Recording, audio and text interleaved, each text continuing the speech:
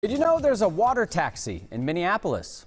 It will take you where you need to go along parts of the Mississippi River, and it's solar powered. In this week's Finding Minnesota, John Lauritsen shows us how it all got started and why the scenery is as, is as important as the service.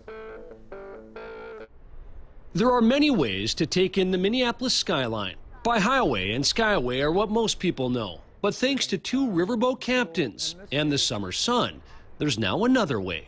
Right away, someone's commenting about how quiet it is, which tells me that that's positive. That's And- a compliment to you guys. Right. Greg Hoseth and Corey Parkus are the men behind the Minneapolis water taxi. They've used Greg's ingenuity to build two electric boats, one that's also powered by solar energy, to set off for calmer and quieter waters. There's no fumes. A lot of people are in wonder. I can't believe there's there's no sound. But plenty of scenery and history. Iconic Grain Belt sign from the 1940s.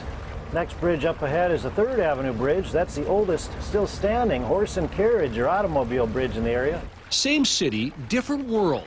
A versatile little fleet that's hoping for a few more stops. We have the destinations, but not the docks at the moment. There are only a handful now, but they're anticipating that as many as six more docks could be added by next summer.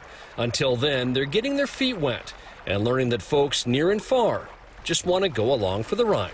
And the interesting thing about that is that people like it. you really get a very different perspective on the city from down on the river. Everything looks different. Dennis Reddy and Ellen Joseph are just two of the dozens of passengers that have kept the captains busy. It's beautiful. It's just a view of the city that you're not going to get elsewhere, and just a sense of serenity. From the beauty of the falls to the architecture of the bridges. You can take it all in at 8 miles an hour during the day or even at night. Water seems to be healing, and it's good to be out here. And it's a great job, fun people, and it's hard to beat.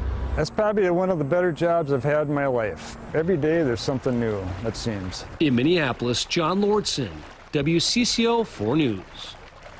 Corey and Greg set out from Boom Island seven days a week, and they do up to 14 trips a day. For more information about the Minneapolis Water Taxi, we have a link on our website. Just go to WCCO.com and click on the links. Know of a person or place that John should know about? Send him your Finding Minnesota ideas at WCCO.com slash links.